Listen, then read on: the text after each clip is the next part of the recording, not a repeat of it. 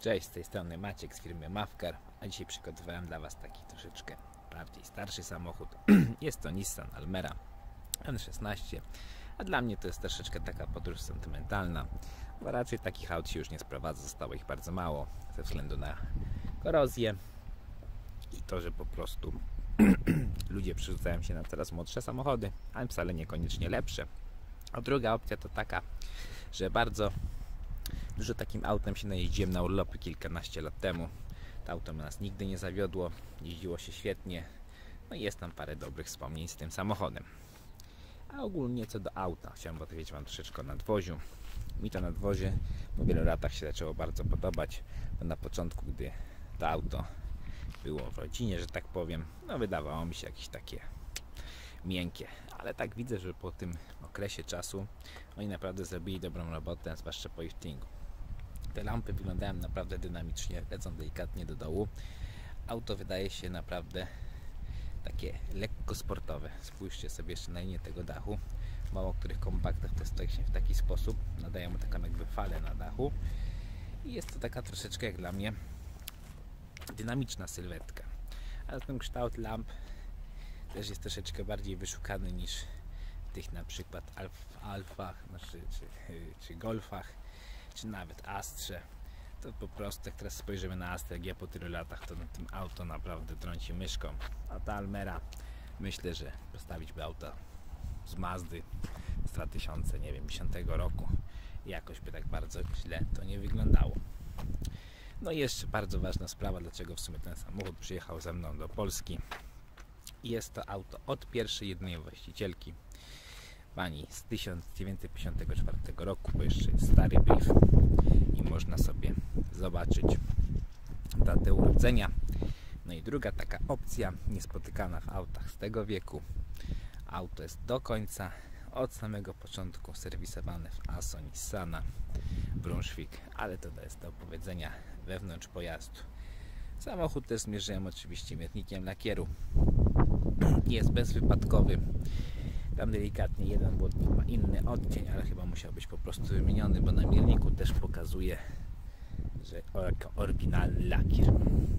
Auto stoi na ładnych oponach wielostonowych Goodyeara, około 7-8 mm. Starczy zdejmowałem kołpaki z przodu, są bardzo ładne.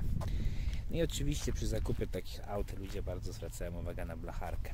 Tutaj blacharka jest w bardzo dobrym stanie. Robię Wam tu zbliżenie. Pokazuję na to wszystko żebyście dobrze widzieli, że nie ma żadnej tutaj rdzy. Tutaj na klapie też widać fajnie wszystko, bo tu lubiły sobie zgnić. Jest ładnie utrzymana. I reszta pojazdu również. To już formalność. Ewentualnie można się schylić, zobaczyć jeszcze progi. Dają naprawdę bardzo ładnie. To samo przedni płotnik. Wymieniany, to powinien być pewnie idealny. No i jeszcze przednia szybka, też rzadkość oryginał. No i tu listwa przy dachu. Resztę myślę, że opowiemy w aucie. Dobrze, tutaj dla Was przygotowałem ten brief, o którym wspominałem. Tutaj macie jeszcze w starych briefach było data urodzenia właścicielki, więc jak widzicie tutaj jeździła starsza pani.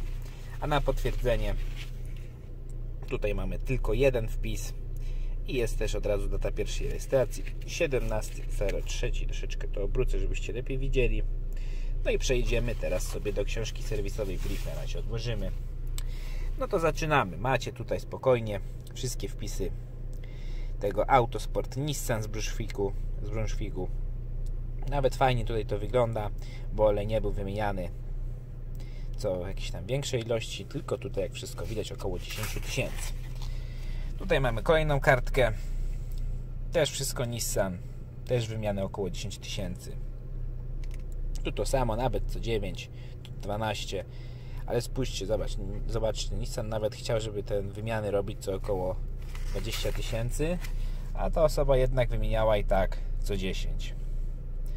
Lub też wcześniej, jak to się nam udało. Tu praktycznie książka się kończy. I z tyłu miałem jeszcze tutaj wpis pod maską, bo ktoś może nie zabrał książki. Też jest tutaj wymieniony olej przy 185. Następną wymianę proponowali przy 215. ale myślę, że warto sobie wymienić wcześniej. No i tutaj mam na pokazanie Wam tego, że to pod maską też jest ten autoszrader z tego z Brąszwika, więc wszystkie absolutnie wpisy zrobione w jednym ASO, co jest dla mnie naprawdę przy tak starym samochodzie oczywiście ogromną rzadkością. Przejdźmy sobie do środka. Tutaj sobie auto zapaliłem, żeby troszeczkę klima chłodziła. Widzicie przebieg 192 tysiące. No i teraz spróbujmy pokazać kierownicę, bo jest w idealnym stanie. Naprawdę ma zero zużycia. Jest świetnie utrzymana, tak samo ogólnie jak cały pojazd. Lewa strona, przyciski, takie rzeczy. Nic tu nie ma szczególnego. Środek, radyjko, sprawna klimatyzacja, gałko zmiany biegów, ręczny, fotel. Tutaj mamy mały podłokietnik, schowek, jakiś tutaj drobnych parę schowków, na pierdółki, popielniczka, nie było w aucie palone. No i oczywiście duży schowek na resztę dokumentów, instrukcji, no ale tego już nie będę pokazywał, bo szkoda czasu na filmie. Co ogólnie trzeba przyznać, że dla kierowcy, jak spojrzycie, naprawdę te wnętrza, jak tutaj się siedzi, czuć taką dużą przestrzeń. Człowiek nie czuje się taki jak w tych nowych samochodach przykroczony deską, że wszystko jest tak przed nim centymetr przed nim i deska prawie dotyka od strony pasażera do nosa. Cóż, chyba o wnętrzu powiedziałem Wam wszystko, powiedziałem Wam o serwisach. Nic, tylko mogę Was zachęcić do zakupu takiego pojazdu, bo na takie auto, zwłaszcza auta japońskie, dużo osób szuka tych, tych aut, bo są te auta przede wszystkim niezawodne i jeżeli będziemy o nie dbali, to spokojnie z tych 190 nawet dojadą do, 390 bez żadnej naprawy. Więc śmiało mogę Wam polecić dla osoby, która naprawdę też chce auto bez korozji, bo jest dużo zadbanych tych aut, ale te auta po prostu już korodują. Cóż, zachęcam do zostawienia też komentarza tu na YouTubie, spojrzenia też na Instagram, Mafkar Auta, odwiedzenie mojej strony mafkarotomoto.pl No i pamiętajcie, u mnie każde auto jest wystawione z fakturą. Możecie do niego też dokupić gwarancję na rok i oczywiście, jeżeli nie macie jak dojechać, dowieść sobie tego pojazdu, mogę Wam chętnie go dostarczyć na lawecie. I to by było na tyle. Hej!